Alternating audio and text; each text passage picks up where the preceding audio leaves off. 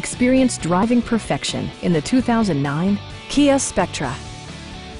This four-door, five-passenger sedan is still under 75,000 miles.